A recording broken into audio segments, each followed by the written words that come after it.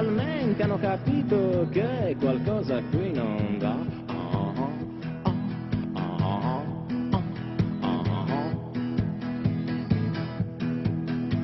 Arrivano i buoni e dicono basta a tutte le ingiustizie che finora hanno afflitto l'umanità.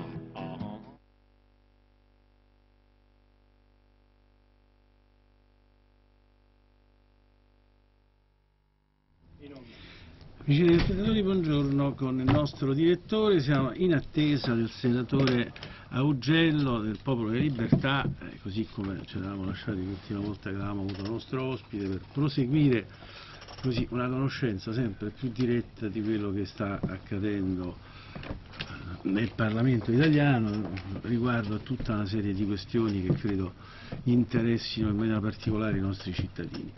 So che adesso farò arrabbiare Ivano perché una delle cose che chiederemo al senatore Augello è il contenimento della spesa, vedi l'ho detto, detto in italiano, no? perché eh, ieri Ivano faceva un'osservazione che condivido, nel senso che eh, chi è attore di queste vicende, appunto come il senatore Augello per conto del Popolo della Libertà, ma anche chi rappresenta il PD, eh, non diciamo l'UDC perché secondo quello che dicevano sono d'accordo a priori col, col governo Monti, e capire proprio riguardo a tutta questa vicenda che riguarda il taglio, il taglio alle spese, il contenimento della spesa e così via, con i riflessi pesanti che rischia di avere a livello di risposta di servizi ai cittadini, eh, si vota una cosa in Parlamento, però poi magari a livello di enti locali, di comuni, di regioni, di gruppi parlamentari, perché no, eh, si manifesta dissenso rispetto a quello che poi si va ad approvare. Allora capire anche un po' qual è il taglio proprio politico che per quanto riguarda oggi il PDL con Augello, lunedì avremo eh, l'onorevole Morassutto e lo chiederemo per quanto riguarda il PD, eh, di chiarirci questa contraddizione, no? quella su la quale Ivano insomma, ci ha fatto buona parte della trasmissione dell'altro giorno che è un elemento centrale del dibattito politico di oggi. Sì, io informo più che altro i telespettatori dopo il dormiveglia di chi era la regia, ecco, che altrimenti parlo io in quella maestro lo stadio. Fanno pure viceversa. È una malattia, sì, viceversa, questa è una malattia dei nostri eh, tecnici. No, il discorso si allarga, a parte la mia amarezza di ieri, ma che confermo anche oggi, perché non è che io abbia cambiato idea, ma oggi abbiamo il senatore Augello e questa sera eh, ci intratterremo a Caracalla dove eh, sarà realizzata nell'ambito della festa dell'unità, eh, festa, sì, credo si chiami ancora festa dell'unità, eh, dove ci sarà Montino che parlerà delle promesse mancate. E sono tante eh, le promesse mancate. E poi avremo l'onorevole Roberto Morassuto dove parleremo di urbanistica, di casa, anche del piano regolatore addirittura che lui ne fu protagonista. Cerchiamo di informare, di informare eh, le persone eh, per quello che possiamo, eh, quello che possiamo. Eh, volevo ricordare ai telespettatori, perlomeno ai nostri amici, quelli che ci seguono e che mi dicono Serli non lasciare come si fa a non lasciare?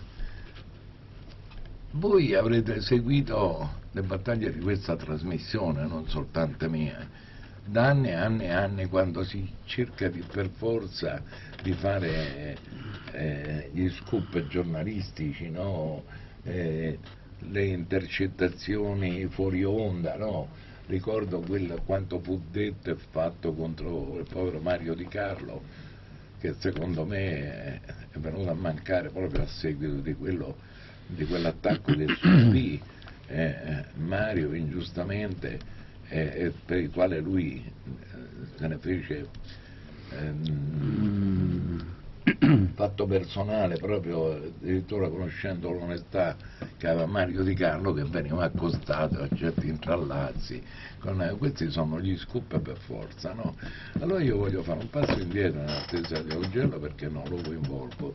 Ma quante volte da questa trasmissione, parlando di parentopoli, io ho citato quanto avveniva all'Università di Roma, eh, con assunzioni di parenti, cugini, cognati e via dicendo, quante però in questo momento, lo vedo pubblicato oggi su un giornale, le assunzioni fatte al Cotral. Eh, una cosa allucinante, bipartisan, eh, denunciato, denunciato e denunciato per anni, per eh, sei anni, sette anni, otto anni. Oggi invece viene scoperto eh,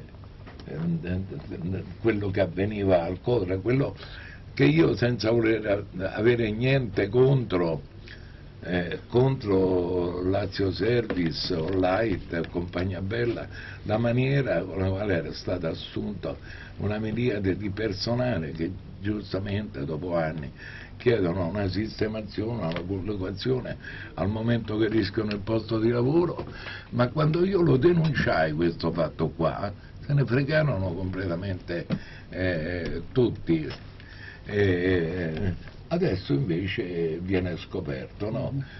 Quando poi esce un giornale a caratteri a scatola, no? io ne farò oggetto nei prossimi giorni di parlare di presunte assunzioni da parte di un attuale eh, assessore, quando questo assessore, eh, la moglie era già dipendente da prima che lui facesse il consigliere comunale. Sono quelle cose, quelle cose talmente assurde eh, e si è fatta una pagina di un giornale addirittura come se si parlasse di, eh, di Reina eh, o cose del genere, no? montate in aria, quindi in attesa, io l'ho invitato in trasmissione perché è sempre venuto in trasmissione. E, per precisare le cose, ma aspettiamo giustamente il proscioglimento che sarà mm-hmm. eh, ad ore, però si è inteso invece creare questo polverone. No? Quando io eh, ho citato addirittura le assunzioni fatte in regione non in questi anni, non in questa amministrazione, né nella precedente amministrazione alla, a qualche altra istituzione regionale, eh, fatte bipartisan sempre due posti a te, due posti a me. Eh, sembra che qualcuno, io questa lotta eh, la sto facendo da anni, ma non hanno mai voluto trovare la soluzione, le liquidazioni che prendevano tutti i manager perché i direttori sono tutti deficienti, allora dobbiamo prendere tutti i manager, ma sono 40 anni che io le dico queste cose, lo dicono i colleghi eh, eh, in, questi, in, questi, giorni. Eh, e allora che cosa vuoi fare di fronte a questo egoismo? Guardate questa storia del buono casa, ma sapete che io ancora non ho la risposta? Non ho ancora la risposta, gli ho detto ma scusate come fate a fare un bando se non ci sono i soldi? L'ho chiesto al governo, l'ho chiesto cosa, alla regione, l'ho chiesto al comune. La cosa grave è che chi poi dovrebbe avere la responsabilità di saperlo non lo sa non neanche. lo sa. eh, allora ecco quello che mi angoscia eh, nel condurre questa trasmissione e io ho detto ma le persone per bene oneste esistono sia da una parte che dall'altra. Non è che un partito ha scritto il Vangelo e quell'altro eh, ha scritto i salmi. Eh, non riesco a trovare spiegazioni, però dato che vi faccio perdere tempo e sto facendo perdere tempo anche voi che ci ascoltate, prendiamo le prime telefonate in attesa che viene a Augello. Noi cercheremo anche, e questo ne parlerò perché ho invitato anche per eh, la settimana prossima l'onorevole Angelilli per parlare dei fondi europei dei fondi europei che l'Italia La vicepresidente del Parlamento italiano, dice, del Parlamento europeo. Parlamento europeo, eh, per chiedere proprio come vengono distribuiti questi fondi europei. no? Soprattutto se poi vengono utilizzati. se vengono utilizzati o, perché- o certo. perlomeno vanno che vi posso dire al Portogallo, alla Spagna o, o, mm, alla Oh, Grecia certo. Noi pare perché noi non siamo capaci di utilizzarli? Perché non siamo capaci di utilizzarli? Perché non abbiamo la possibilità di presentare dei progetti? Perché non presentiamo dei progetti? Perché non ci sono i soldi per realizzare i progetti?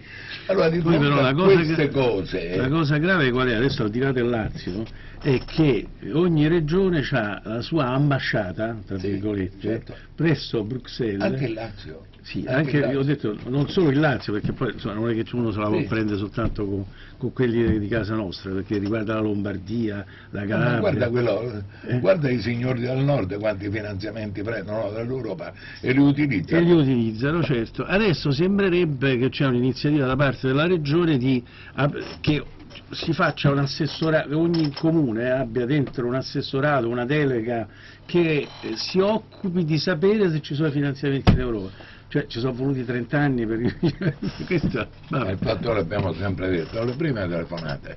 Pronto? Pronto? Pronto, pronto, buongiorno dottor Celli, Buongiorno. Buongiorno. dottor Mastro Buongiorno. Rosato, buona serata. Dottor Celli, tanti e tanti auguri per i 3-4 giorni passati, un altri 80, bastano, spero di sì, 80 basta. Guardi, sono un altri 80, se- Senta dottor Celli, gentilmente mi deve rispondere. Allora, io sono un pensionato, fortunatamente, 62 anni, sono da 5 anni in pensione. Allora lei deve sapere che come c'è qualcosa da ridare di conguaglio di tassa regionale, tassa è subito tac e io sto pagando dal primo gennaio fino al primo novembre 35 euro al mese. Allora lei mi deve spiegare ieri a che cosa è servita tutta quella processione all'aeroporto di Ciampino andare a prendere quella là. Lei me lo deve spiegare, quanto ci è costato? Macchine, servizio, eh, vigilanza, lei me lo deve dire a che cosa è servito. Va predicando sacrifici il nostro Monti e poi lui è il primo a mettersi davanti alle televisioni. Grazie dottor Seri. È, è dura, eh? È, è dura dare, eh, dare una spiegazione. È chiaro che abbiamo riportato una cittadina italiana eh, che purtroppo nove mesi è, è stata là. Adesso la presenza, la presenza eh, del eh, Presidente del Consiglio la considero anch'io superflua. eh, eh, insomma, addirittura non scomodiamo addirittura eh, il capo del governo, ma in tutti i modi io vorrei che la stessa, la stessa tenacia con la quale abbiamo voluto riportare questa ragazza, giustamente, ma che sicuramente ci è costata, ci è costato, eh, si metta per i nostri due ragazzi militari. Perché questo è un abuso internazionale allucinante, perché premetto, innanzitutto io metterei sotto inchiesta, se fossi io, eh, il governo sotto inchiesta il comandante di quella nave, perché eh, lui era in acque internazionali e è E, pro- stato e probabilmente anche, anche l'armatore. eh. è probabilmente anche l'armatore, non solo. Sì, ma eh, il comandante della nave... Sicuramente, certo, sì, non c'è eh, dubbio. è l'armatore, Non c'è dubbio, non c'è dubbio, Però non io dubbio. quel signore lo metterei, eh, proprio lo carcererei, lo carcererei immediatamente, perché lui ha permesso, lui ha permesso che la sua nave entrasse in acque territoriali indiane e, e quindi ha scatenato tutta la cosa. Quindi il problema è quello, quello che adesso si sta facendo ricorso all'alta corte di giustizia eh, per evidenziare questo fatto. Perché giustamente qualche mese fa eh, qualcuno disse eh, sulla vicenda degli aerei, dell'aereo americano su al nord, eh, la funivia Certo. e tutto quanto, gli americani non ci hanno pensato per niente, perché anche se era territorio italiano, hanno detto agli italiani guardate state fuori da una parte, voi non c'entrate niente, se li sono portati in America, l'hanno giudicati, non l'hanno giudicati, però l'hanno fatti rientrare. Quindi se questi due ragazzi avessero, ammesso non concesso, commesso dei reati, cioè, eh, Eh, cioè, certo, la legge dice che devono essere giudicati in Italia. Certo, ma la, la nave non doveva entrare in, aree- eh, in acque territoriali. Infatti, E io vorrei che la stessa cosa, la stessa cosa, lo stanno facendo, secondo me lo stanno facendo dolcemente, ma poi mi domando che cosa fa l'ONU, che cosa fa l'ONU, che cosa fanno le Nazioni Unite, che cosa fa l'Europa. Eh, perché non ci deve essere una decisione soltanto del Certo. governo italiano, ma era in acque territoriali eh, internazionali e quindi non, era, non si doveva permettere non c'è dubbio. non si doveva permettere, poi magari farli giudicare anche dalla Corte Suprema. eh, eh, Secondo il- eh, il codice italiano, Il diritto, perché- il diritto internazionale. Eh, eh, purtroppo è così, è così.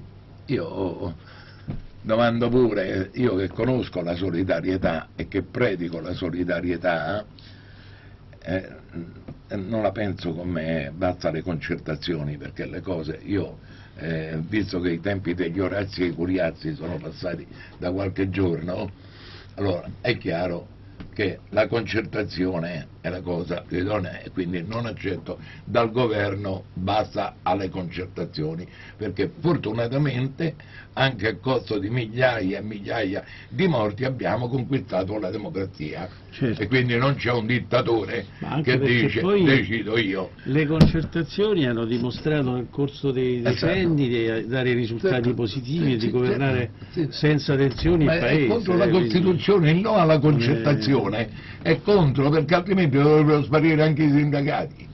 Sì, sì. perché basterebbe uno che dice no si fa così e andate tutti a casa. L'altra telefonata. Pronto? Dottor Celli, però prima di dire le cose bisognerebbe approfondire, se lei mi permette. eh, io qualche volta approfondisco guarda, Ecco. qualche volta, non tutti i giorni. Ecco, dipende la che nave- tempo La fa. nave italiana. Eh, è stata circondata da motovedette indiane eh, e perciò non poteva fare altro che quello che ha fatto. Con questo io Guardi, non giustifico guardi, gli indiani io a lei la devo sempre, portati io a lei la devo sempre interrompere, guardi, e la devo, meno male che viene Augello in aiuto, eh, per il semplice fatto che lei sta dicendo una cosa inesatta. E lei, dato che fa delle belle premesse, ma che non ci azzeccano niente, eh, eh, con le premesse, la nave italiana che è stata circondata, questa è fantasia, questa è fantasia, il comandante di quella nave è stato invitato a portare la nave in acque eh, eh, indiane, è chiaro? Quindi altrimenti schieriamo i portaerei. Allora non sono, non è lei che mi deve dire che bisogna riflettere, io rifletto, ma comincio a mettere in dubbio che lei riesca a riflettere prima di dire le cose inesatte. Ad ogni modo, Prego, no, eh, non ogni volevo modo. parlare di questo. Eh, no, e lei fa una premessa Eh, che mi offende e quindi perché mi dice a me di approfondire No, per chiarire prima se lo deve approfondire lei prego. Così, Mm. l- l- come si chiama? eh, della, il, il- il radio della, della, Reg- della Marina? Sì, ha la Reggio però ha visto chiaramente. Ah, Vittorio la nave...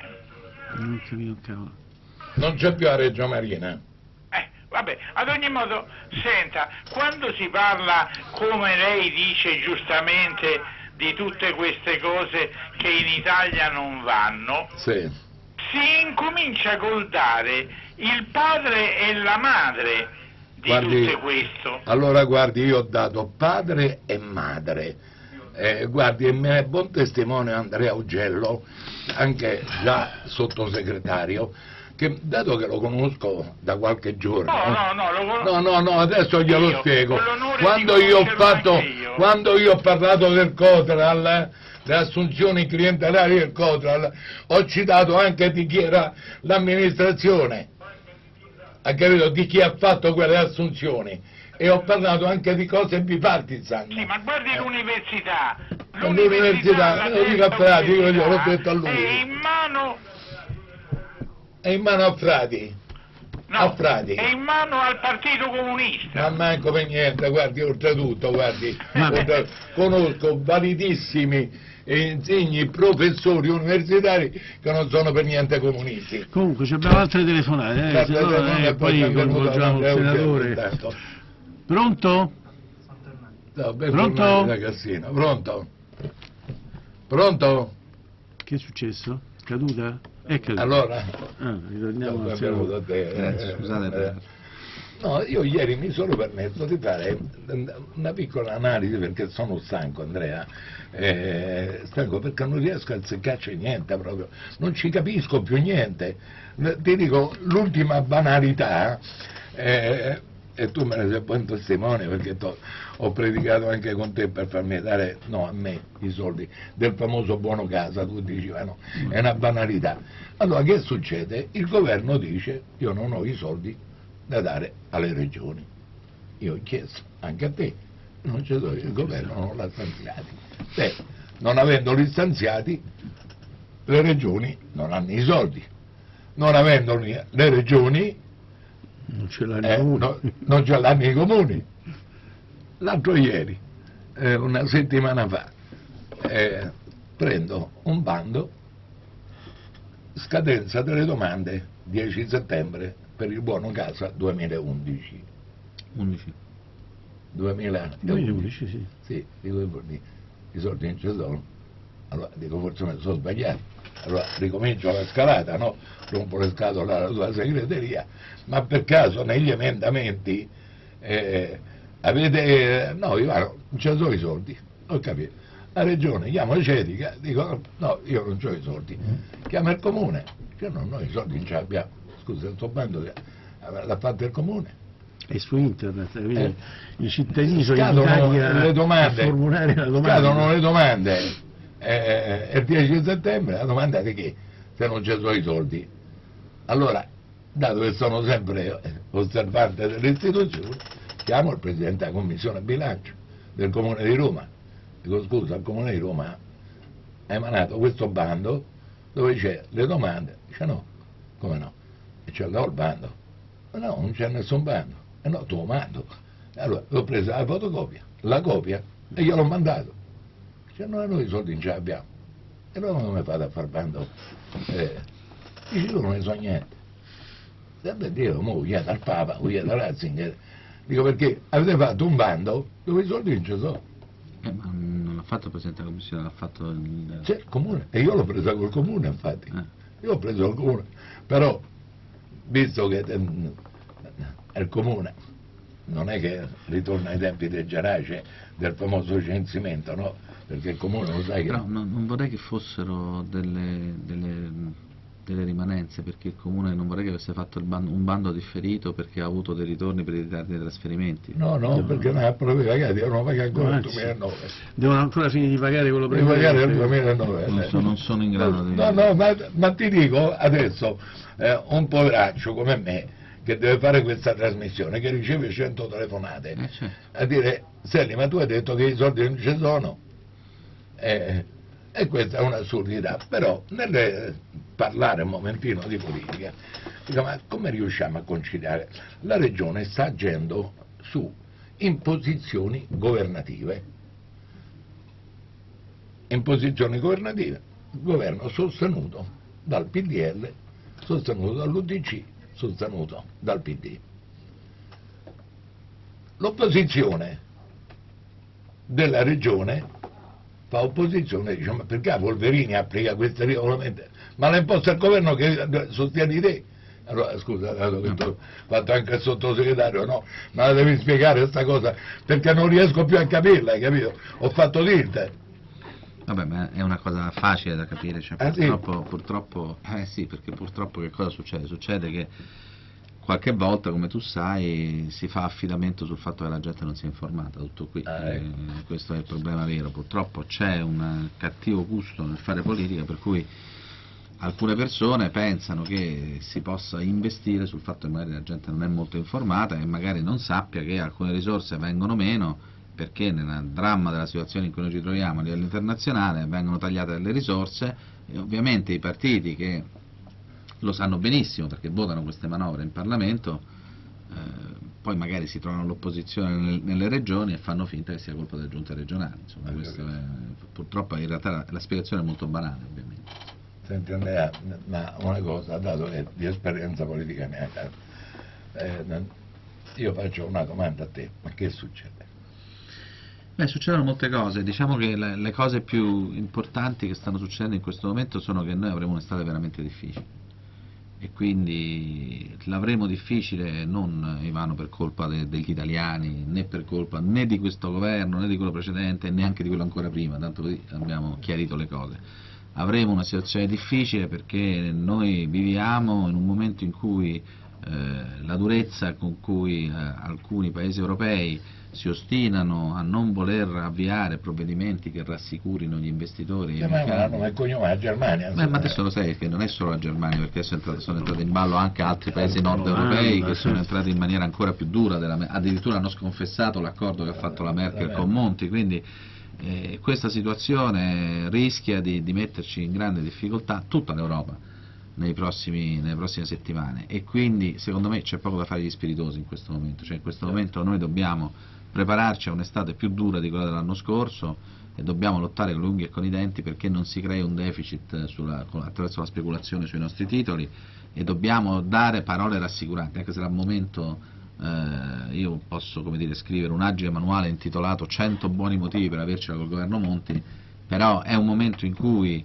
sulla percezione personale, politica, di parte deve prevalere la difesa intanto dei più deboli che, che ovviamente sono quelli che pagano per primi dei nostri giovani che non devono andare a infoltire un esercito disoccupati già troppo grande, eh, dei nostri titoli di Stato che non devono costare eh, con uno spread che, che, che, potrebbe arrivare a raggiungere di nuovo quota 500 nelle prossime settimane, quindi no, superare quota 500 nelle prossime certo. settimane, che è, sarebbe la situazione che c'era quando fu messo Monti. Eh, quindi questo, questa è la realtà, se no ci prendiamo in giro. Ora noi non dobbiamo mai prendere in giro le persone. Quando c'è un'emergenza, quando, quando, la casa va a fuoco, si, si, si, sta tutti spalla a spalla e si spegne l'incendio. Poi il resto si discute dopo, però noi dobbiamo intanto superare quest'estate perché ci sarà un momento difficilissimo, difficilissimo eh, che dobbiamo affrontare tutti insieme. Noi siamo in Parlamento, stiamo cercando di attenuare sia sulla spending review sia su altre questioni eh, un'impostazione a volte troppo precipitosa, troppo dire, eccessiva, il rigore è una cosa, dico sempre io, il rigorismo è un'altra, sono due, due problemi diversi. Eh, il rigorismo è un'accetta... Visto il titolo? È un'accetta che, che, eh sì, è, è un'accetta che cala senza criterio sulle cose, il rigorismo. Il rigore è la capacità di capire quando l'accetta può colpire la carne della povera gente e spostarla altrove, questa è la differenza tra le due cose Dobbiamo fare questo, dobbiamo farlo tutti insieme, dobbiamo farlo anche con, eh, con l'umiltà di spiegare alle persone quello che sta succedendo. Senti, che immagini ci stanno... Eh, scusa, prego, no, devo dare una notizia, perché mentre noi stiamo parlando eh, c'è una collega che sta andando in Campidoglio uh mhm. -huh. dove c'è un incontro Alemanno Bondi eh, questo, era indirettamente questa la domanda, perché proprio eh, prendiamo prima due telefonate da Fabrizio. Va bene, va bene, certo, non c'è dubbio, non facciamo aspettare a casa, prego. Pronto? Buonasera, eh, dottor Selli, oggi mi creda non avrei voluto chiamare assolutamente, però purtroppo ti salta la mosca al naso. Intanto voglio fare un preambolo con il senatore Augello che dice quest'estate ce la vedremo veramente chi se la vede brutta sono sempre i cittadini perché voi politici ve la vedete alla grande. E gli accordi con l'Europa li fate voi alle nostre spalle voi di tutti gli schieramenti che per i vostri interessi ci colpite ci castigate in tutti i modi. Uno. E poi questa mattina Rossella Urru ricevuta da in, in, Monti è andata alla all'aeroporto, Napolitano l'ha ricevuta al Quirinale, e che cosa ha fatto? È andato a fare la guerra, una giornalista in prima linea, che cosa ha fatto? 15 milioni di euro. E tre o quattro terroristi di Al-Qaeda liberati, quello che si dice magari sarà anche di più, e fanno la festa, però non ha colto l'occasione Napolitano e Monti di- e anche la destra, il centrodestra, di dire adesso vogliamo subito il Marò a casa, perché loro sono stati mandati dal governo, avete capito? Dal governo, vergogna. E poi quel signore che prima ha telefonato dice erano circondati, non è vero. Due Signora, grazie, ci ho detto tutto, ma tanto le, le sue idee, le sue idee le conosco.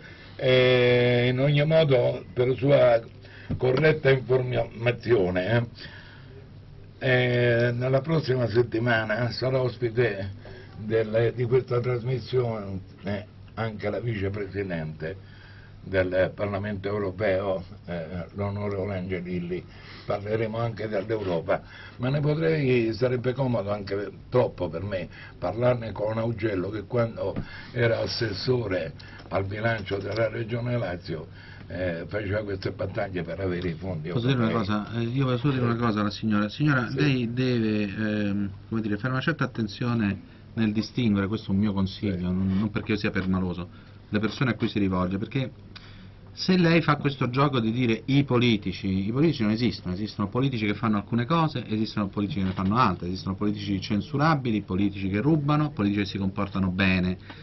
E quindi io non sono disponibile a venire in un programma televisivo e a farmi apostrofare nel modo in cui lei ha fatto, perché non c'è un solo atto né nella mia storia né nella mia biografia che consente l'ipotesi che qualcuno si rivolga così a me. Detto questo, non è tanto semplice eh, il, discorso sul, sul tempo che ci attende, però noi dobbiamo dirci la verità, eh, è evidente che se una persona ha un'indennità parlamentare eh, può affrontare una crisi con molta più serenità di quanto non possa fare una persona che invece è in una situazione di difficoltà economica.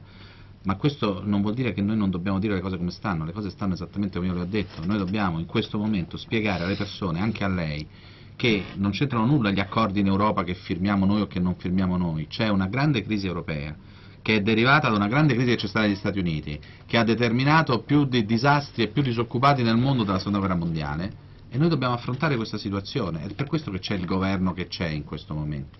Altrimenti saremmo già andati alle elezioni, altrimenti io sarei molto più contento nel restituire la parola al popolo e non ho alcun piacere, alcuna soddisfazione nel votare e alzare la mano insieme al centro-sinistra in Parlamento. Se questo si sta facendo è perché c'è una situazione grave, io stavo cercando di spiegare la gravità di questa situazione, tutto qui. Ti ringrazio e ti chiedo scusa io, eh, ma la signora eh, ogni volta che telefona ce l'ha sulla politica europea sulle, eh, sugli extracomunitari che, che attribuisce No, vabbè, ma eh, la signora ha eh, tutti, ha tutti i diritti di essere cattivo e io ho il diritto di rispondere, di rispondere a quello che vi dice. La dicono no- troppo bene. Pronto? Pronto?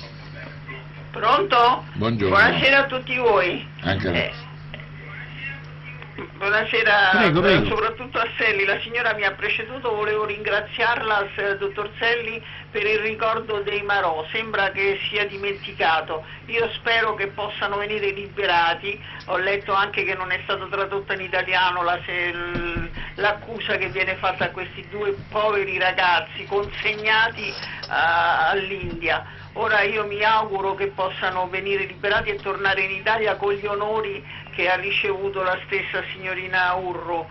Eh, l'unica cosa che mi è dispiaciuta della Urlo, sono molto contenta che è stata liberata, ma l'unica cosa che mi è dispiaciuta è che ha detto che tornerà subito e volentieri lì. Bene, bisognerebbe fargli firmare un qualcosa dove dice che si assume la responsabilità personale e non di tutti gli italiani di pagargli il riscatto. Al senatore vo- vorrei augurare una sola cosa, di fare le scelte oculate. Non possiamo dividerci, senatore, noi del PDL, noi di ex AN, noi di ex Movimento Sociale, perché io sono molto più vecchia di lei, dividerci su scelte personali e far vincere Bersani. Io la prego, senatore, per cortesia cerchi di appianare le situazioni per presentare un blocco unico contro la sinistra e poter mandarli a casa. Sarebbe la fine dell'Italia se vincesse Bersani. Grazie. Se lo ricordi bene. Grazie, Grazie, senatore. Arrivederci, domanda dottor anche Selli, e grazie. Faremo una domanda anche precisa al senatore Augello sulla situazione politica all'interno del popolo della libertà. La terza telefonata, pronto? Pronto? Buongiorno. Buongiorno, Selli, dottor Mastro Rosato, onorevole. Io vorrei chiedere all'onorevole se finalmente si dovrebbe prendere una decisione seria, si parla tanto di serietà, ma in questo momento io di serietà ne vedo poca.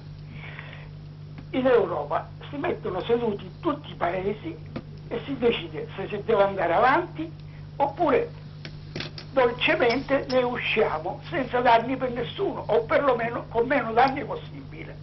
Perché non è possibile andare avanti con questo passo, perché i, i paesi si stanno praticamente impoverendo troppo. La Spagna succederà una rivoluzione, forse noi non la facciamo, ma la Spagna la farà. Io lo garantisco questo. Buongiorno. La ringrazio. Fabrizio Mastro Eh, io lo chiedo all'assessore, all'assessore, bilancio, Capito. comunque sempre sì, questioni di bilancio trattiamo, perché il riferimento che faceva Ivano, la risposta che lei ha dato, Bondi è stato chiamato a fare l'elenco dei tagli, però non è la decisione che spetta a Bondi fare i tagli. Allora io mi chiedo che margini ci sono in sede di commissione parlamentare, di dibattito alla Camera, al Senato, perché questi tagli siano sempre meno orizzontali e sempre più mirati al contenimento della spesa, ma senza punire i servizi ai cittadini. Allora, dunque, intanto diciamo a chi ci ascolta che in commissione eh, al Senato su questa faccenda della spending review ci sono attualmente migliaia, 2-3 mila emendamenti, erano 1800 alla prima conta, adesso mi pare sono aumentati ulteriormente. Quindi c'è una grande discussione. Eh, Bondi non è al Comune come eh, decisore sui tagli, ma, ma come analista, come, diciamo, eh, come, diciamo. come persona che avendo fatto la proposta sui tagli che poi il governo ha attuato, eh, sta incontrando, doverosamente ha incontrato prima la Polverini, adesso sta incontrando Alemanno, i quali con i loro tecnici cercano di fargli apprezzare le difficoltà che Eh, certo. provocano questi tagli e diciamo anche alcune, qualche possibilità alternativa. Ovviamente ci sono margini per intervenire su, su questi tagli ed è quello su cui si sta lavorando in questo momento, il problema come sempre è trovare le compensazioni. Quindi è molto presto per eh, diciamo, dire quale sarà l'orientamento del governo. Allo Stato c'è tutta una- un'attività emendativa che punta eh, a dislocare meglio, un po' meglio i pesi e a cercare anche di eh, sanare alcuni paradossi. Facciamo un esempio, se un- una cosa è efficientare le società eh, che ricevono, come si dice, in-house, cioè che ricevono direttamente gli affidamenti dai- dai- dalle istituzioni pubbliche, dalle regioni, dai comuni, eccetera. Un'altra cosa è creare una macchina infernale che può, può mettere 152.000 persone in mezzo a una strada nel giro di due anni e, e togliendoci peraltro un punto e mezzo di PIL in termini di, di, monte sal- di monte salari. Quindi è chiaro che da questo punto di vista c'è un dibattito in corso, c'è una disponibilità di ascolto da parte del governo, questi incontri, quelli della Polverini, quelli di Alemanno, servono anche a eh, perimetrare diciamo, possibili soluzioni alternative e sarà la prossima settimana quella decisiva con cui si inizierà il lavoro vero e proprio di analisi di, di questi emendamenti. Grazie. Senta, un'altra domanda che mi veniva in mente da una- dalla telefonata dell'ultima signora, quando diceva l'unità del centrodestra eh, per vincere le elezioni, così come è giusto che sia per chi entra in competizione. Ecco, la candidatura del Presidente Berlusconi ha, eh, è stata accettata all'interno del Popolo delle Libertà da gran parte del partito, però c'è il sindaco Alemano, che ovviamente non è l'ultimo all'interno di questo partito, che dice invece dobbiamo andare alle primarie. Beh, francamente il primo che l'ho detto sono stato io veramente Ah, beh, vabbè, rispetto ad Alemanno. E, mm, beh, ma sono dei due problemi che non vanno, non vanno confusi.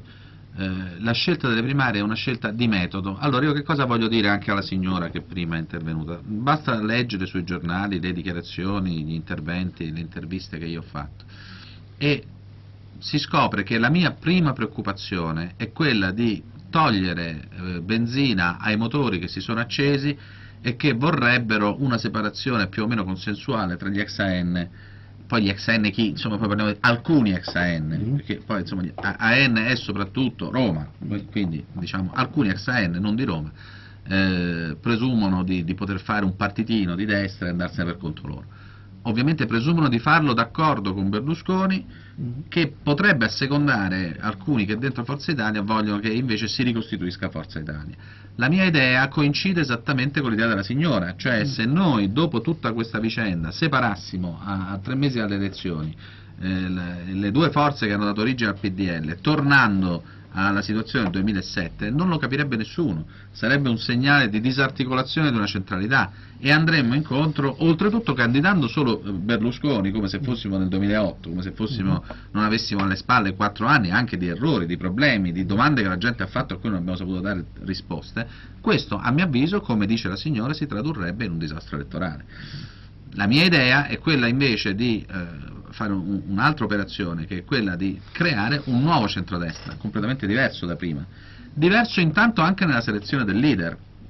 Io non discuto che Berlusconi abbia il diritto di candidarsi, discuto che sia utile legittimare questa aspirazione di Berlusconi, che sarebbe la sesta volta che lo fa, questa volta con un bagno di consenso popolare, preventivo, anche perché questo permetterebbe di far emergere qualche giovane che potrebbe essere un outsider, un concorrente, per non dare l'idea che noi ci arrocchiamo e diamo sempre la solita risposta qualche cosa accada. Noi non possiamo rispondere sempre che candidiamo Berlusconi a prescindere dal fatto che il mondo è totalmente cambiato intorno a noi. Per questa ragione noi abbiamo fatto un manifesto, eh, molti parlamentari lo stanno firmando, lo presenteremo alla stampa la settimana prossima, lunedì, martedì e il 26 luglio a Roma ci sarà un'importante manifestazione in Piazza San Giovanni alle 8 e mezza dove eh, spiegheremo che il PDL deve rimanere una centralità forte nel panorama politico italiano, che non si devono affatto dividere a N e Forza Italia e che tutto questo deve accadere perché saremo capaci di costruire un nuovo PDL uh-huh. che non ha più il sospetto di essere un partito di cooptati, di essere un partito in cui molto spesso conta più la corte che le capacità politiche, di essere un partito che non riconosce il merito, di essere un partito che alla fine si nasconde sempre dietro la gonna di Berlusconi uh-huh. e non riesce a risolvere le sue contraddizioni. Questa è la mia posizione rispetto a questo problema. Lei non a caso era per i congressi? Non a caso, sì. Ti ringrazio. Pronto? Pronto? Pronto? Buongiorno. Buongiorno. Augello, benvenuto a casa nostra Eh, e tanti auguri. Altrettanto. Ivano, sono rientrato a casa, bravo, auguri. però ho desiderio di poter parlare con te, perché se c'è possibilità, come hai detto, se ti posso chiamare per il 6-4, Certo. perché ho bisogno... Chiamami alle sentirti. 4, chiamami alle 4 Giordani, chiamami alle 4 sono in ufficio. Ti ringrazio, l'altra telefonata. Pronto? Pronto? Buonasera. Buonasera a lei signor. Oh, dunque, una signora mi ha anticipato sulla faccenda interna del PDL, io pure sono vecchia, eh, sono una vecchia MS, AN e compagnia bella. E anch'io desidero che non vi dividiate, che non fate la fine dei fini, insomma, che se ne va lì a tozzi e bocconi da qualche parte. Eh,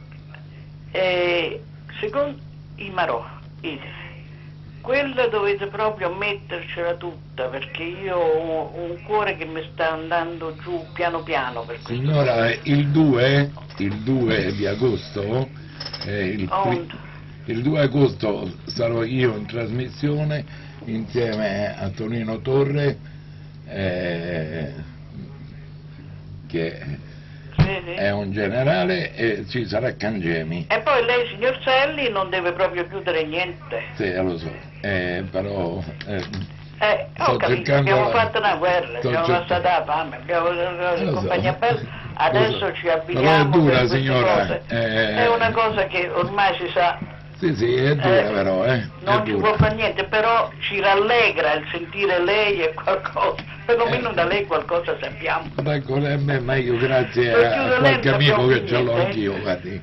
Eh? Non chiuderò mai, signora. avanti anche per i suoi collaboratori. Io non ma, ma sì, guardi, oltre che i miei collaboratori e i miei colleghi, Auguri. poi sono però quando uno... Auguri, senatore Ogello. Grazie, altrettanto. Eh, l'appello che io faccio ad Andrea Ugello, ma purtroppo lui eh, fa il, anzi fortunatamente fa il parlamentare, eh, attingo un po' di notizie, lo invito eh, quando eh, mi concede un po' del suo tempo per parlare, ma però come dice eh, Augello è dura, eh? Eh, io non voglio tornare qualche mese, qualche anno purtroppo indietro e ricordare quando c'era un consigliere comunale che era solo a fare la lotta eh, e ci ha dato la vita eh, per, quello, per combattere quello quale lui, nel quale lui credeva, Mhm. ma non lo voglio ricordare oggi perché riaprirei una piaga d'Andrea. Andiamo avanti. Pronto? Sì. Pronto, buonasera. Buonasera. Buonasera. L'ascolto. Prego, prego. Buonasera a tutti voi. Dunque, io sono d'accordo con le signore che hanno parlato ultimamente e la penso in quel, in quel- in quel modo, però vorrei sapere una cosa. Eh, il malcostume che c'è nei nostri uffici comunali, eh, uffici postali, questi iniziano dal venerdì a fare il ponte. Questa mattina alle 11 già avevano finito gli uffici erano vuoti, le circoscrizioni. Il centro-sinistra non ti, ti, ti mette il solito disco, la solita musichetta. Questo non è, questo è, da è penale, una cosa da- denuncia penale. Signora, signora, signora, mi ascolta? Sì, mi dica. Ho incontrato l'assessore Cavallari. Sì, mi dica. Eh, ho trovato- incontrato l'assessore Cavallari che sta facendo il giro di tutti i municipi per vedere gli sportelli aperti e gli sportelli chiusi. Ma è possibile? Ma dobbiamo ritornare ai tempi dei tedeschi eh, che mettiamo anche stato a guardia di uffici. L'assessore Cavallari, assessore al personale del comune di Roma, sta facendo il giro eh, negli uffici per vedere quelli che sono aperti e quelli che sono chiusi. Ma arriviamo a questo, signora. E purtroppo Eh, è eh, vergognoso, è vergognoso, perché vengono pagati, invece di darsi, di rimboccarsi tutte le maniche per risollevare l'Italia, e loro iniziano a fare il ponte dal venerdì. Ma sullo stipendio a fine mese non gli viene scalato, questo è tutto a danno della comunità. È, è giusto? Io avevo fiducia in Brunetta, aveva detto si dava, si muoveva, dava da fare, e poi non abbiamo visto più nulla. Vabbè, eh, quindi adesso c'è una risponderà. Eh, Comunque eh, volevo fare gli, auguri e gli auguri alla, mm, eh, eh, la- al suo ospite e in bocca al lupo e speriamo bene per le prossime elezioni. Va bene, eh, eh, là, sì, ci saranno le eh, ma quando ci saranno le elezioni? No, ci saranno la scadenza naturale delle elezioni. Cadenza naturale. Certo. No, dico solo una cosa alla signora, mm, adesso obiettivamente tutto si può dire tranne che la- i provvedimenti di Brunetta non abbiano, non abbiano ridotto l'assenteismo, questo è, è sicuro. Il problema è che, intanto Brunetta non c'è più adesso, ma a parte questo, a me pare che la questione non sia soltanto avere la presenza dei, dei- che è doveroso ovviamente, dei dipendenti pubblici negli uffici, ma era la seconda parte della riforma Brunetta. Brunetta aveva detto prendiamo il contratto di secondo livello e invece di dare i soldi sparsi a tutti, trasformiamo questi soldi in obiettivi di produttività, cioè li diamo solo a chi Produce. Ora, la grande crisi che ci ha colpito ha bloccato la contrattazione e quindi non è stato mai introdotto questo modello Brunetta, per cui, ma, ma non è certo colpa di Brunetta, insomma. questo. Contrattazione e concertazione. No, eh, io eh, una cosa che mi ha fatto arrabbiare, Dopo le perché ormai battute- sento l'appello del governo, basta alle concertazioni, che vuol dire? Ma io non sono, cioè nel- nella mia parte politica ci sono molti nemici della concertazione, come è noto, Eh. insomma, ma mh, io non sono tanto convinto che questa sia una bella parola d'ordine, perché Appunto. io penso questo, è vero che la concertazione eh, ha avuto degli eccessi in passato, no? nel senso che noi abbiamo avuto anche in momenti di crescita governi che non andavano neanche a fare un decreto eh, legislativo senza prima convocare il tavolo della concertazione, ci sono stati momenti in cui i sindacati hanno avuto un peso esorbitante. insomma. Ora però penso pure perché quando c'è una crisi di questa portata e quando eh, c'è un'onda di disoccupazione come questa e si è in recessione, cercare una coesione sociale prima di prendere un provvedimento sia doveroso. Insomma, cioè io penso che sia un momento in cui tutti devono concorrere a creare, se no c'ha ragione il signore, finisce davvero scoppia, non dico la rivoluzione perché non credo che capirà né in Spagna né in Italia, però certamente possono esserci dei fenomeni anche di, di, di violenza sociale, insomma diffusa, quindi bisogna stare attenti da questo punto di vista. Eh, io credo che ci debba essere un tasso possibile di concertazione, un tasso possibile, cioè bisogna perlomeno dare la possibilità alle forze sociali di sapere prima cosa si intende fare e di fare le loro proposte e poi di ascoltarle o, o comunque di non ritenerle, come dire, cogenti, non ritenerle un Vangelo. Io penso che se questo governo avesse fatto questo con un po' più di attenzione non avremmo avuto il problema degli esodati, per esempio. Ecco, tanto per fare un esempio. Senti, io, ma dato che la conosci la cosa, faccio un replay. Eh, sono anni che sto denunciando un fatto. Noi nei nostri ospedali abbiamo assoluta necessità, anche nel territorio, di infermieri. Il Lazio, il Lazio ha circa 8.000 infermieri non idonei. Io scrissi anche, scrivemmo una lettera proprio a, Brune, a Brunetta, sulla, visto che avevano, si era riuscito a ottenere la mobilità, mm. e allora io dico, io non mando nessuno a casa di questi 8.000, perché gente logora dal lavoro, gente che è allergica, poi eh, ho scoperto anche i vigili urbani sono allergici alla divisa al tessuto della divisa. Al tessuto della divisa.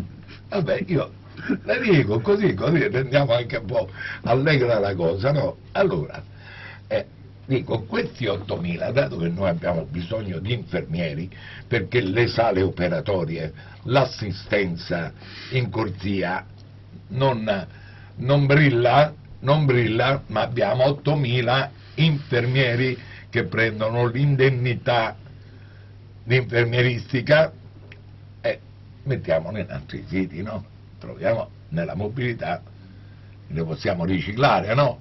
E assumiamo, assumiamo infermieri idonei, perché altrimenti andiamo a prendere in Albania, eh, in Africa, in Bulgaria, eh, in Romania, perché non ci sono infermieri. Poi il paradosso dei paradossi, ma sono segnali che io do a te nella speranza che poi tu vada a colpire eh, chi è il padre di queste cose, l'Università di Roma, la laurea in infermieristica è a numero chiuso. Io ho provato a chiederla a Frati, ho detto scusa ma come fai a fare il numero chiuso quando c'è necessità di infermieri? Ci sono illustri professori che tu conosci bene ed eh, sei amico come lo sono io, che mi hanno detto Ivano io posso utilizzare la sala operatoria soltanto due volte al mese per il semplice fatto che io non ho infermieri. Certo. eh, non ho infermieri. E poi statistiche loro e non mie eh, ce ne sono oltre 600 soltanto al San Camillo Forlanini allora, purtroppo Ivano il problema è che questo è il frutto di un, invece di un eccesso di concertazione del passato. Ecco, perché anche se noi assumessimo tantissimi infermieri, eh, noi dovremmo però prendere qualche precauzione per fare in modo che lo siano ancora tra 5-6 anni infermieri. Eh, Questo è il problema. Perché vanno a fare i segretari ai partiti? Perché, no, perché no, diciamo, c'è un certo turnover, c'è stato negli ultimi anni da questo punto di vista, che è tutto interno all'amministrazione sanitaria, sì. che è una cosa che adesso non è che va drammatizzata, però è accaduta, è sotto gli occhi di tutti, sì. insomma, cioè sì.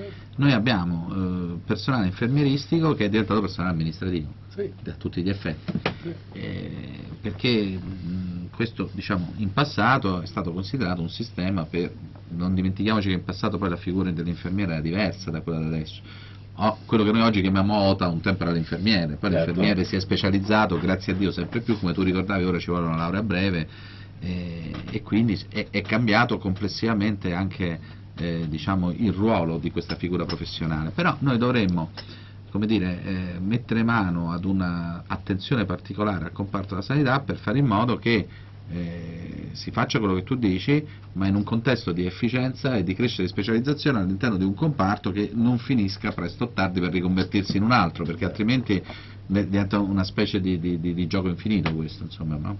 tutto qui.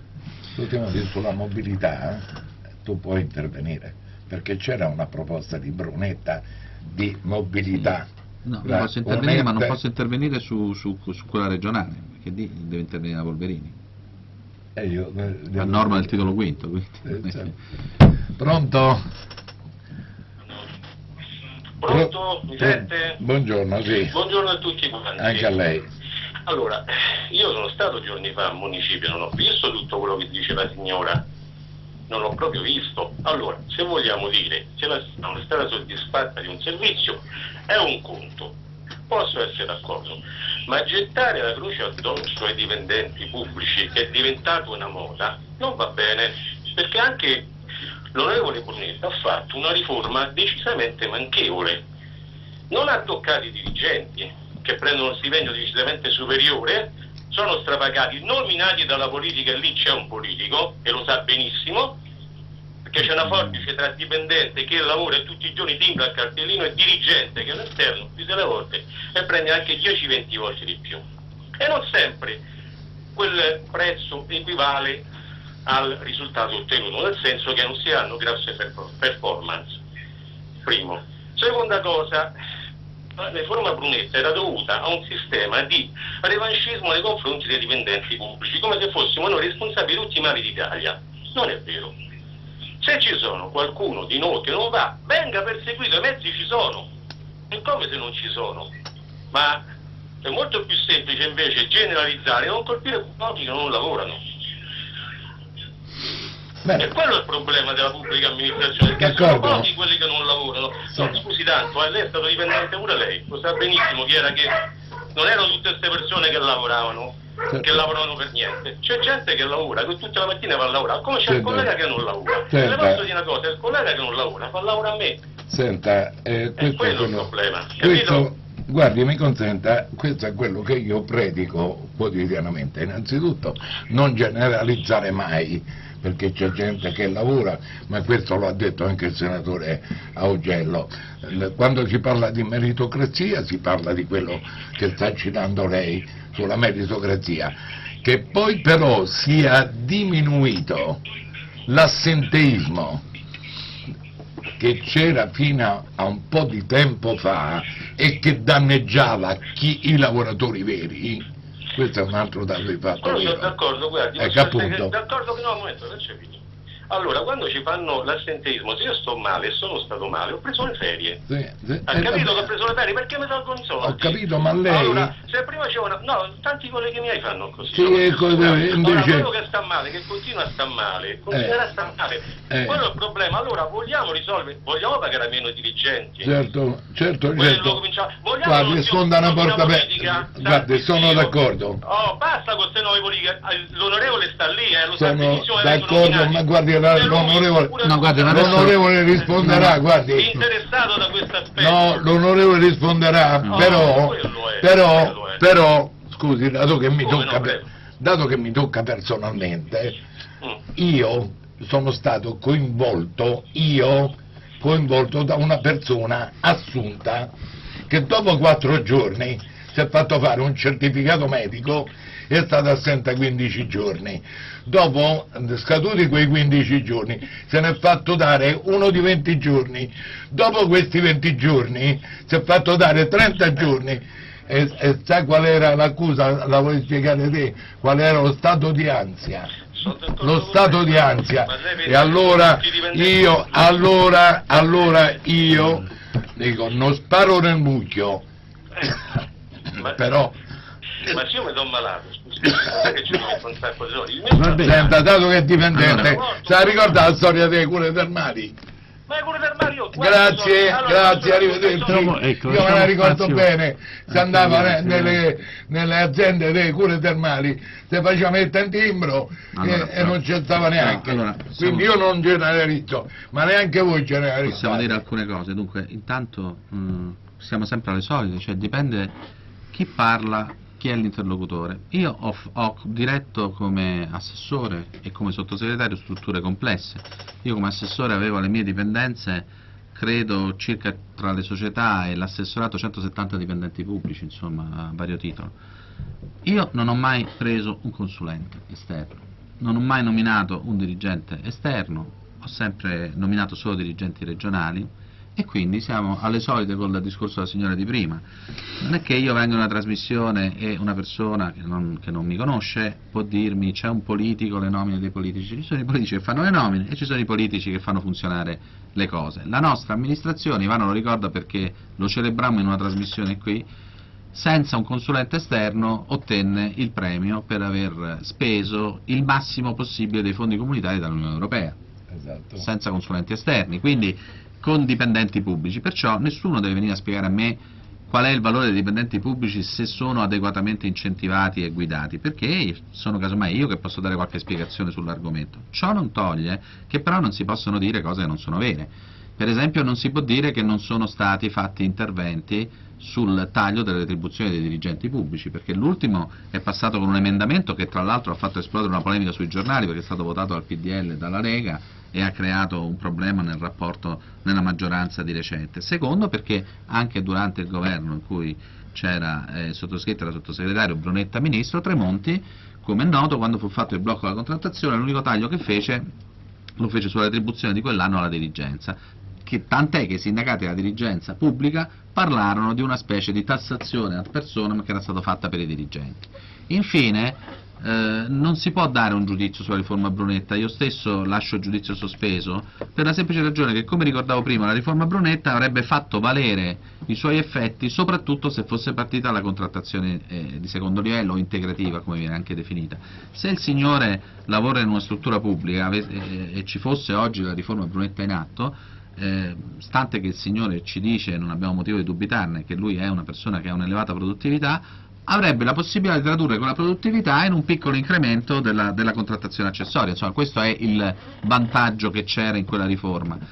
Erano poche le risorse, forse non sarebbe servito, non lo so, però eh, non possiamo dare un giudizio su una cosa che non è accaduta. Quello che possiamo dire per certo è che nella pubblica amministrazione ci sono grandi spazi possibili di miglioramento, di efficientamento, e, e che questo francamente non si, può, non si può negare, perché altrimenti si direbbe una cosa che nell'opinione comune è chiara ed evidente a tutti. Insomma. Grazie, eh, senatore. Pronto? Al dottor Selli e al dottor Mastro Rosato e al senatore eh, Agello. Senta senatore, per cortesia non ritorniamo sempre sulla domanda dell'Europa, gliene facciamo una, perché io guardi non chiamo neanche più il dottor Selli perché praticamente eh, è questo inferno che ci si è creato intorno in Italia. Senta un po', dottor ehm, eh, senatore, ma non si potrebbe, guardi, tanto stiamo messi male, perché con l'Italia devono mangiare tutti. La Spagna, adesso poi questo debito enorme che io dissi un mese fa qui al dottor Selli, che ci ritroviamo sulle spalle, non abbiamo possibilità, ma per carità di Dio, sarà una, una cosa atroce, perché questi signori vanno lì, firmano, non so poi per chi, per chi firmano, chi è che vuole questo, e, e non chiedono niente al popolo, ma si potrebbe venire via, tanto siamo belli che rovinati, torniamo al tempo dell'autarchia, chiudiamo la nostra Italia, chiudiamola tutti, ricominciamo da capo, lei mi dirà che io sono pazza, no dottor perché io ho più di 80 anni, abbiamo portato il ferro, abbiamo portato le fedi, abbiamo portato tutta la nostra Italia e siamo decisi a rifarlo. Questa cosa basta che usciamo da questo inferno di Europa. Signore, ascolteremo anche il senatore Augello sulla, sull'euro. Pronto? Pronto? Pronto, buonasera a tutti, a. Selli, al eh, collaboratore e naturalmente al senatore. Eh, due cose, forse pure tre, scusate. La prima è, resto basito scan- sullo scandalo che da tempo sta denunciando Selli, un bando emesso senza copertura finanziaria. Allora, due sono le cose, o, o l'assessore è connivente ed è andata via, o l'assessore non sapeva nulla, deve cacciare tutta la struttura che ha messo in piedi il bando. Non ci sono scusanti. Seconda cosa, e questa è relativa soprattutto al senatore. Leggo sul giornale che il Parlamento ha approvato il fiscal tract. Bene, noi per 20 anni resteremo legati a una manovra continua di 45 miliardi. Mhm. A questo punto, visto che le- si stanno esaurendo le risorse del- dei fondi dei cittadini, praticamente le risorse date dai risparmi, tra qualche anno che cosa farete per tirar fuori 45 miliardi, la vendita dei gioielli? Ma sì, ma quelli quando avete tolto 20, 30 mila miliardi finiranno e poi che facciamo? La succursale alla Germania? Vogliamo tirare fuori il nostro orgoglio? Lei che è di destra, si ricorda la nostra identità? Grazie. Eh? Grazie. Grazie per Ciao, la arrivederci. La terza telefonata, poi il senatore Ugello. Pronto? Pronto? Pronto? Buongiorno. Buongiorno. Buongiorno Torselli, volevo parlare col senatore Augello. Eh, prego. E qui il Siamo senatore. qui. No, senatore, io sono un suo votante. Ecco, è una brava persona e la stimo sempre. Grazie. Però Eh, Volevo precisare una cosa. Stamattina ho telefonato al 06, 0606 al comune per, eh, per essere sicuro della prestazione di questo bando caso dell'11 e l'impiegata ha detto sì. Sì, è, è lecito. Però questa è una truffa, è un reato. Sì, anzi doppio reato aggravato, perché noi aspettiamo ancora, aspettiamo, il buono casa del D, io tengo la ricevuta, la ricevuta di raccomandata andata e ritorno del bando fatto nel 2009. Come si permette di fare queste cose qua? Di- Dassero la verità, qualcuno è colpevole di questo qua, no? Eh, Non possiamo riesco- indurre eh, questo. Io, io tanti cappello a dottor Selli perché si combatte per noi. Però qualcuno deve fare queste cose sta su qua. internet. Tanti- Ecco. Va bene. La ringrazio, ciao. Ciao, ciao. Mi, mi fa integrare una domanda di un cittadino dove quando faceva riferimento ai terribili 45 miliardi no, che per 30 anni se non governato dovremmo... No, non è esattamente così. Eh, eh, allora ecco, chi- chiariamo intanto se, se è così e poi questo dovrebbe eh, essere affrontato, senatore, con il- la vendita del patrimonio e se è così non siamo in ritardo rispetto alla vendita del patrimonio? Allora, dunque, sì, questo lo vediamo dopo. Allora, dunque, intanto spieghiamo a chi ci ascolta di che cosa stiamo parlando, perché l'identità e la destra rispetto al fatto che ci sono questi problemi significa in primo luogo essere efficienti e capaci nel leggere le cose di cui stiamo parlando, perché ci vuole competenza, per- perché dobbiamo rispondere a- a- alle persone delle decisioni che assumiamo. Il fiscal compact non è eh, una forca caudina che è stata imposta da un paese cattivo eh, all'Italia. Il fiscal compact è il tentativo di rispondere ad una situazione che vede aggrediti i debiti dei paesi più indebitati, perché non ha molta importanza se io devo pagare 45 miliardi per adeguare l'equilibrio di bilancio o se devo pagare per i rendimenti delle obbligazioni con cui mi pago il debito, nel senso che il punto di fondo è che la soluzione che i 45 miliardi non si pagano non c'è. Questo è quello che dobbiamo spiegare alle persone, perché se io invece di pagare eh, il costo delle emissioni del mio debito come lo pago adesso, lo pago il doppio, altro che 45 miliardi mi vengono. E non solo, ma questo mi trascina i tassi di interessi delle banche e le imprese pagano il denaro il doppio. Quindi non è che possiamo proprio dire qualunque cosa. Inoltre il fiscal compact non dice affatto che dobbiamo pagare 45 miliardi l'anno, il fiscal compact dice che noi dobbiamo eh, avere un meccanismo di eh, svalutazione del debito progressivo al netto che, che ricomprende in quel meccanismo il tasso di inflazione annuo in realtà. Quindi le cifre, se, se noi fossimo sostanzialmente a zero di crescita e non fossimo in recessione, non pagheremo mai 45 miliardi. È chiaro che se noi siamo a quasi 3 punti percentuali di recessione, è chiaro che paghiamo 45 miliardi. Questo è il punto. Ora, la domanda di fondo che noi dobbiamo farci e dobbiamo fare alle persone che eh, devono decidere in questi momenti è ma qual è l'alternativa? Cioè, che si fa di bello d'alternativo? Ora, eh, quando la, la- signora, che ovviamente ha tutto il mio affetto e la mia stima, perché una signora si commuove raccontando di aver regalato il suo anello nuziale alla, alla patria, merita comunque la nostra stima, la nostra- la nostra- il nostro amore direi addirittura, Però signora, il problema di fondo è che noi viviamo in un mondo che è, è oramai interdipendente complessivamente. Eh, un paese come il nostro che non ha materie prime non può chiudersi nei propri confini, mettere i dazi e sperare di farcela, non, non ce la faremmo. Così come l'altra signora che diceva perché non usciamo il signore, anzi piano piano dall'euro? Per la semplice ragione che noi, uscendo dall'euro, avremmo due risultati piuttosto preoccupanti. Il primo che si dimezzerebbero la mattina dopo i valori dei nostri risparmi nelle banche, ma il secondo, che è anche più grave, è che si raddoppierebbe il costo del denaro. Questo è il punto vero. Perché noi negli anni in cui abbiamo avuto l'euro, in tutti questi anni, siamo riusciti ad avere un costo del denaro bassissimo, tanti tra noi hanno comprato casa, l'hanno comprato ai figli, eh, il debito anche, anche credo al consumo, la gente si è potuta indebitare per fare degli acquisti eh, nelle abitazioni, per comprare gli elettrodomestici, ci sono state una serie di possibilità. Oggi uscire dall'euro significa mettersi in una situazione difficilissima senza poi una prospettiva chiara Guardate in Grecia che è successo, nell'immediato, quando sono arrivati i provvedimenti più duri, c'è stata una grande avanzata delle forze più strane, devo dire, che eh, predicavano l'uscita dall'euro, eccetera. Quando poi dopo la gente ha capito che cosa sarebbe accaduto uscendo dall'euro, e non formandosi un governo ed aggravandosi la crisi, moltiplicandosi i disoccupati, eccetera, eh, c'è stato un ritorno degli elettori a sostenere invece il centrodestra, che in, in Grecia rappresenta diciamo, il partito europeista. Quindi eh, bisogna riflettere su queste cose. Il fatto che la situazione sia difficile significa che noi dobbiamo fare un'opera di servizio nel cercare di spiegare le cose. Però le persone devono responsabilmente scegliere il male minore in questo momento. Guardate che se noi sbagliamo in questo momento rischiamo di compromettere i prossimi 25 anni di questo Paese e quindi non dobbiamo sbagliare, dobbiamo mantenere la, la, la mente lucida, dobbiamo parlare, dobbiamo confrontarci, dobbiamo discutere, ma dobbiamo fare quello che è giusto. Ultima telefonata.